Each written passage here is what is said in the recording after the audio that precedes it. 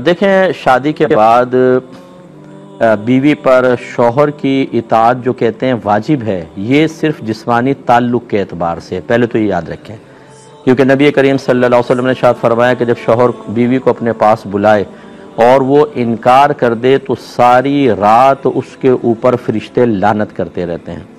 हाँ अगर कोई सही शर्य ओज़र है, औरत को बीमारी है, कोई और तकलीफ़ है कोई और मसला है तो वो शोहर को प्यार मोहब्बत से राज़ी करके और ताकि वो डिसहार्ट ना हो ताकि उसकी मतलब दिल आज़ारी ना हो आ, कोई ऐसी और बीवी के बारे में बदगुमानी पैदा ना करे अगर वो उज़र पेश ना करे। इस वजह से बयान करके ना करें तो उसमें गुनाह भी नहीं होता लेकिन बग़ैर किसी उज़र के शोहर को मना कर देना ये गुनाह है। तो इसमें कहा जाता है कि शोहर की इतात तो वाजिब है। इसके अलावा बाकी दीगर उमूर में शोहर ने कहा कपड़े इस्त्री कर दो बाहर चली जाओ नहीं जाओ इधर जाओ उधर ना जाओ शोहर की इतात करना अफजल और अवला है वाजिब नहीं होता। अफजल और अवला का मतलब यह है कि कहना मानना बेहतर है ना माने तो उस सूरत में गुनागार हो सकती है कि जब शोहर की शदीद दिल आज़ारी हो वरना नहीं होगी। यूँ कह लीजिए आप कि शोहर अगर कोई बात कहे तो औरत गौर कर ले कि अगर मैं इसकी बात नहीं मानती तो क्या इसकी दिल आज़ारी होगी? क्या ये आ, मतलब गुस्से में आकर कोई गलत इकदाम तो नहीं उठा लेगा? तो उसको कहना मान लेना चाहिए। और अगर नॉर्मल वे में जैसे शोर कहता है, भाई ना जाओ, आज अभी बेहतर नहीं है। और बीवी कहने भी मैं तो जा रही हूँ। तो अब ये नहीं कि बीवी शोहर की बात क्यों नहीं मानी? गुनागार होगी। थोड़ा बहुत बीवी इस तरीके से कर सकती है। बाकी जो सास हजरात ख़वातीन हैं, सास हैं, वो शायद मेरी बात को सुनकर कुछ नाराज़ होंगी।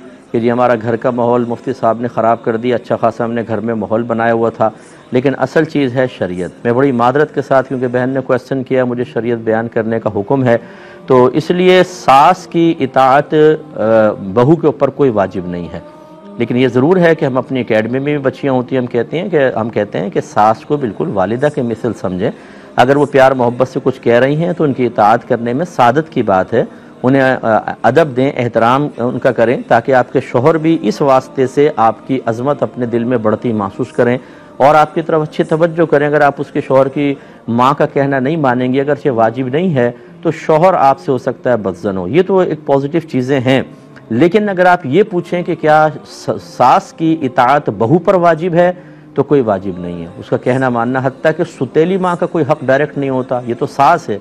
सुतेली माँ का डायरेक्ट औलाद पर कोई हक नहीं होता है। हाँ अगर वो बाप के वास्ते से कि जी, वालिद साहिब की चूँकि मनकूहाँ हैं, बच्चे अदब एहतराम करें, बहुत अच्छी बात है और करना भी चाहिए, लेकिन सास का डायरेक्ट बच्चों पर कोई हक नहीं होता, जैसे सॉरी सुतेली माँ का, जैसे सगी माँ का होता है। तो जब सुतेली माँ का डायरेक्ट कोई हक बच्चों पर नहीं रखा तो सास तो बहुत दूर की चीज़ हैं। लेकिन हमारे यहाँ अक्सर ऐसी होता है कि आधी बातें शोहर की माने और उससे कहीं ज़्यादा सास की माने, वरना घर का माहौल ख़राब होगा। तो इससे हमारी जो माएँ हैं जो सास के दर्जे पर फाइज हैं, बग़ैर बुरा माने, मैं, हम तो आपको देकर समझा रहे हैं, आप अगर हम पे नाराज़ होंगी, आप कहेंगी ये बात क्यों कह दी? मैदान माशर में अगर आपको खड़ा कर लिया गया और आपसे यही क्वेश्चन हुआ कि जब तुम पर तुम्हारे लिए बहू की इतात वाजिब नहीं थी तो ये क्यों आपने ऐसा किया कि जब बहू ने कहना ना माना तो आपने बेटे को भर दिया बेटे से डांट दिलवाई या आपने स्टैंड ले लिया कि इसको तलाक दो हमारा कहना नहीं मानती है, इसको निकालो घर से और आपने एक बच्ची पे जुल्म करके निकलवा दिया, क्या आप समझती हैं मैदान माशर में आप ही गिरफ्त नहीं होगी? आपको नहीं खड़ा किया जाएगा, आपसे हिसाब किताब नहीं होगा। अगर आप कहते हैं कि नहीं तो फिर मैं कुछ नहीं कहता हूँ, आप इस पर कुरान हदीस से दलील लेकर मुतमिन हो जाएँ। अल्लाह ताला आपको सादत अता फरमाए। और अगर आपको कहीं से कोई जवाब ना मिले, पॉजिटिव अपने मतलब का तो फिर जो हम बयान कर रहे हैं वो आयन शरीयत है। और शरीयत को नज़रअंदाज करने में दुनिया में भी नुकसान है, आखरत में भी। लेकिन मैं फिर बच्ची को दोहरा देता हूँ कि सास को अपना बनाएँ, उसे मुखालिफ ना बनाएँ। शरय मसाइल को बुनियाद बनाकर अगर आप किसी के अदब एहतराम को तर्क करते हैं तो फिर शोहर को भी बहुत से शरय मसाइल बुनियाद बनाकर आपके लिए मुश्किल खड़ी कर सकता है। हर एक को, हमने तो शरीयत सीखी नहीं होती ना। हमारे घरों में अपने बनाए हुए खुद साख्ता कवानीन से निज़ाम चल रहा होता है। निज़ाम शरीयत तो जानते ही नहीं है। शोहर को क्या पता है कि क्या क्या मेरे हक़ हैं, क्या फ़राइज़? बीवी को पता है, एक डायरी लें और उस पर अपने हक़ और फ़राइज़ लिखें कि ये मेरे हकूक़ हैं, ये चीज़ें मुझ पर फ़र्ज़ हैं। और उसके बाद किसी अच्छे मुफ्ती साहब से फतवा ले लें उसके ऊपर कि जो हमने खुद साख्ता हकूक़ और फ़राइज़ की एक फ़हरिस्त बनाई हुई है, इनमें से कितनी की शरीयत वाकई उसको हक़ मानती है, वाकई उसको हम पर चीज़ें को फ़र्ज़ मानती है? आप देखेंगे कि अगर आपने दस चीज़ें लिखी हैं, आठ तो वैसे रिजेक्ट हो जाएँगी। कोई दो चीज़ें होंगी और बहुत सारी ऐसी होंगी जो आपने लिखी नहीं होंगी।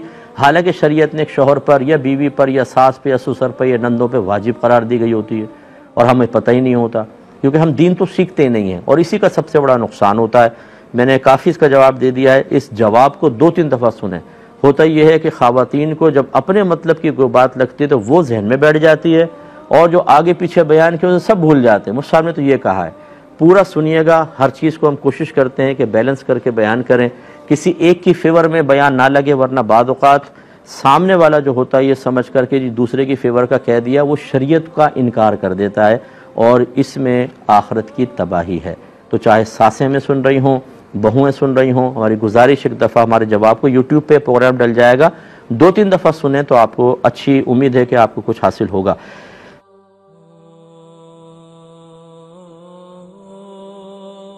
उम्मीद करता हूँ ये वीडियो आपको पसंद आई होगी। मजीद इन्फॉर्मेटिव वीडियोस के लिए हमारा YouTube channel Rizvi education subscribe करें और बेल आइकन पर क्लिक करें और इस वीडियो को ज़्यादा से ज़्यादा लाइक कमेंट और शेयर करें और हमें सोशल मीडिया पर फॉलो करें। शुक्रिया।